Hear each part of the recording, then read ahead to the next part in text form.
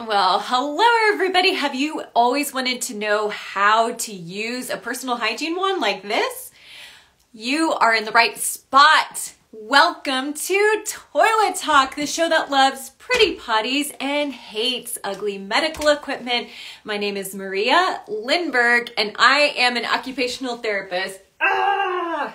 Yeah, welcome, welcome, welcome. If you would please um, let me know in the comments below. I have a couple of different brands of personal hygiene wands. Um, they're also called wiping aids, but let me know in the comments below if there's a certain kind of brand. I have considered um, uh, ordering the Buckingham Healthcare wiping aid to show, but you just let me know if there's a certain brand you're curious about. I'm more than happy to get it, trial it, and then show you how to use it. So um, before I demonstrate this to you, when would be a good time to use a personal hygiene wand? Well, if you are having a difficult time reaching your bottom to wipe thoroughly, like let's say you're having a shoulder problem, let's say you have uh, maybe you have a hip or a back surgery coming up where there's certain precautions where you can't bend, lift, or twist your back. Um, this this can make it easier to reach your bottom to thoroughly clean it. Uh, let's say that you've had a stroke or a spinal cord injury or a traumatic brain injury. There's all kinds of reasons why somebody could use a wiping aid like this to help wipe their bottom easier with toilet paper. So um, those are um, some some things, some good reasons. There's all all kinds of different ones. If you're not entirely sure if this would work best for you, I recommend going to your primary care provider and getting a referral to see an occupational therapist who can come help you out in your home and figure out the best way for you to wipe. So um, yeah, this uh, personal hygiene wands are pretty popular because they're very inexpensive. I got this one. I think this is the Fanwer brand. That's F-A-N-W-E-R. I think it is, but I bought it basically from Walmart for 10 or $12. Um, yeah, let me know thumbs up or thumbs down if you want to see um, a different kind of brand um, like Buckingham Healthcare. Yeah, let me know if you want to see Buckingham Healthcare's uh, personal hygiene one in the comments, thumb up or thumb down. Um, but uh, we, we've got this one. They're very inexpensive. You can find them online. Um, I, before you start using it for yourself or with somebody else, um, especially if you're a caregiver for somebody else, you may be thinking, oh, that that's going to help my person wipe their butt easier on the toilet. Maybe I won't have to help them so much.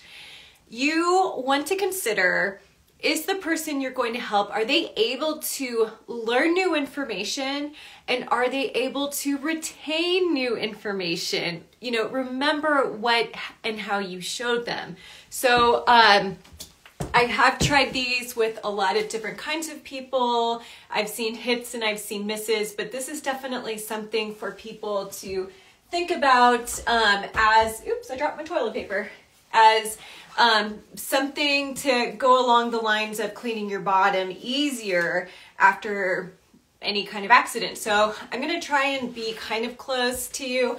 I'm just taking regular toilet paper. Um, what I'm going to do is count like about, oh, six pliers. So one, two, three, four, five, six little squares.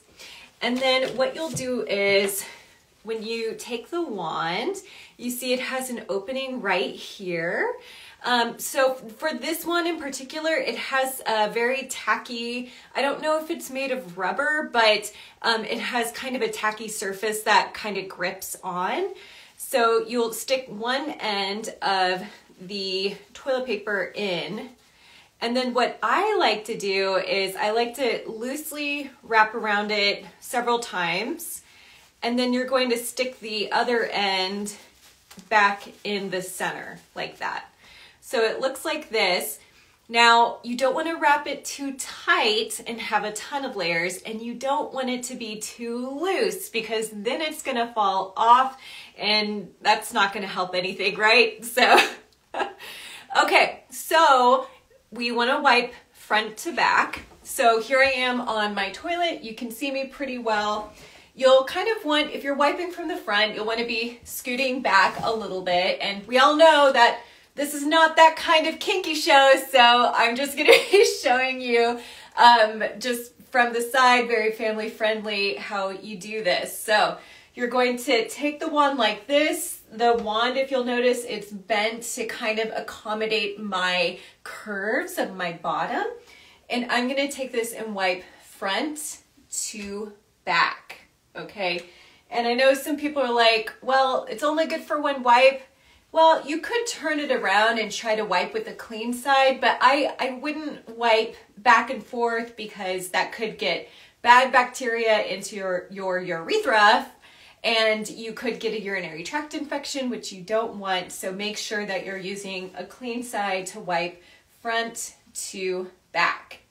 Now you can also wipe from the back. I'd probably scoot up a little bit towards the front of the toilet and for this, if you have the no twisting in your back precaution, then you want to be very conscientious that you're keeping your back nice and still and that you're only moving your shoulder back to wipe front to back, front to back.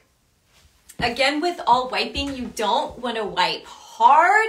You want to be gentle with your butt, always, always, always. Um, but I would do more of a, not so much a hard wiping, but I'm a fan of doing a gentle patting kind of motion so that you're making sure you're getting the urine, you're getting the feces or whatever onto the toilet paper, but you're not tugging on your delicate booty skin. You got to take good care of yourself. And then basically after you're done using the toilet tissue, you're going to release it either in the back or the front into the bowl. And I'm gonna show you up close on the camera how it releases for this particular one. So this one has a button at the bottom. And so you push the bottom down and it kind of moves the, this thing to release the toilet paper. So you see what it did there. And then you can kind of shake it off so that the toilet paper comes off. So let me know if you have any questions about this one. You can put the questions in the comments or you can DM me. I'm more than happy to answer. Um, for these, I'm, I'm glad they're so inexpensive for people to try. They're great for people to take with them outside of the home, like to work or school or, you know, wherever you're going. But um, for, for these more inexpensive ones, I think they're good for a trial and error situation. So if you're not sure it's going to work for you or for a family member, it doesn't hurt to try it. The second personal hygiene wand is the Freedom Wand. It comes in this bag. I do like this one the most that I've worked with um, uh, with people in nursing homes in the hospital. Um, but anyway, I'm gonna take it out. I like the pouch because it makes it kind of easier to take out of the home with you as opposed to this one. This one doesn't break down, but this one does. So I'm going to take all the pieces out. You can make the wand as short as you need it, or you can make it longer. So I believe the length on this one is going to be um, around like 23, 24 inches. Um, so it has these buttons, it snaps and locks into place. It's made out of plastic, so it's really easy to clean. Oh, I forgot to say, whenever you use a personal hygiene wand, make sure that you are at least washing it off and air drying it or pat drying it off after each use. I really don't want you to get an infection on accident, so definitely make sure um, if you needed to use a mild soap or whatever with lukewarm water to clean it, that is a great idea so that you don't give yourself a nasty infection.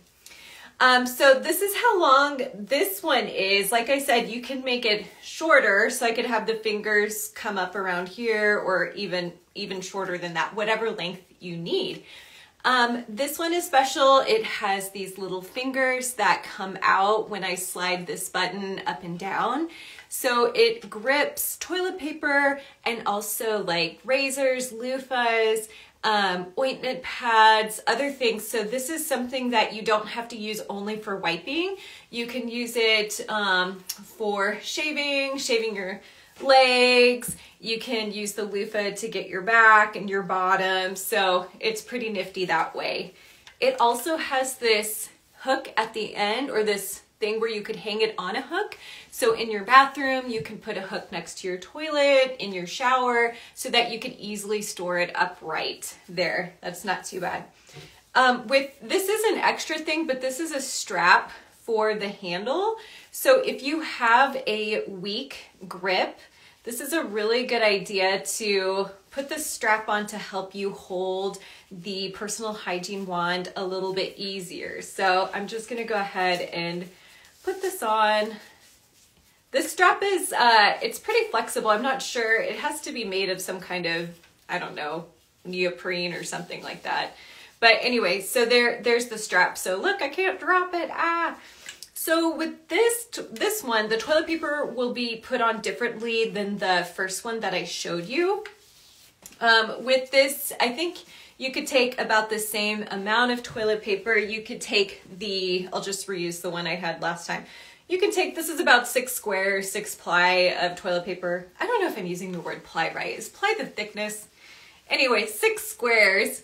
And what you'll want to do is you kind of fold it in half a little bit, um, just a couple of times, and you'll pinch the bottom of a corner so that you make a little palm like that.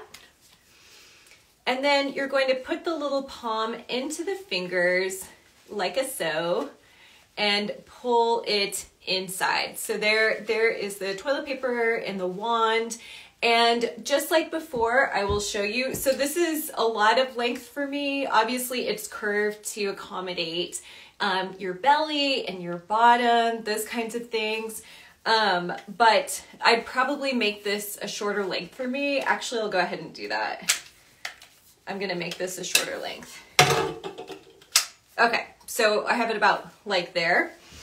And so again, you'll wanna scoot towards the back of the toilet, give yourself some room to wipe front to back, front to back. Again, I would use a clean side of the paper. Don't keep using the, the same dirty side of the toilet paper so that you don't give yourself an infection on accident. Um, so you'll go front to back, kind of in that same like um, gentle patting motion. And then from the back, you could do the same kind of thing. I'm to switch my grip here. So you do the same kind of thing if you have the no twisting precautions in your back. Make sure just to move your shoulder. My bottom is towards the front of the toilet and I'm wiping front to back like that. Front to back. So, and then you can throw it away in the, with obviously a lot of wipes. We got that and uh, let go of the toilet paper in the toilet. Uh, just go ahead and release it with the fingers there and voila. Um, I know um, the uh, maker Deb, Deborah, who made Freedom Wand, she encouraged people, you can go ahead and make a bunch of toilet paper palms ahead of time so that you're not having to make um, you know, multiple little palms while you're sitting on the toilet. And she has like these little like plastic bands on them. Um, so that is something you could think about doing in the future. But other than that, that is how a personal hygiene wand works. Um, I, I, in another one of my Toilet Talk lives, I showed you how to do this with one hand, using one hand to put the toilet paper on and everything. Well, hey, Deb, how are you doing? Um, yes. And uh, let's see, where was I going? Oh yeah, yeah. So this is nice to use if you only have the use of one hand. You can put it between your arm and put it on or in between your legs. You could do that too, one-handed. So um, if you'd like to look at that video, you could just scroll through my uh, stuff or let me know. I'll give you the link. Um, but like I said, there are different kinds of personal hygiene wands as well. Um, there's some that have kind of more, um, oh, what's the word? Where they kind of act like this more. I'd say uh, the Freedom Wand is more unique with the fingers. I don't think there's any other ones with fingers that push out and then retract back inside the wand. Um, but anyway, let me know what you think in the comments below. Next week, I will be showing how to use a portable uh, bidet. So stay tuned for that. And if there's anything that you would like to see in the future, how do you use this, how do you do that, any kind of question at all, please contact me. I love showing you guys how these things are used because I think it is so helpful when you're able to clean your own body and take care of yourself and be the boss of your butt. So I'm so happy to see you. Thank you so much for coming and watching today. And I will see you next Tuesday at 12 Central Standard Time on Toilet Talk. Have a wonderful rest of your day. Take care.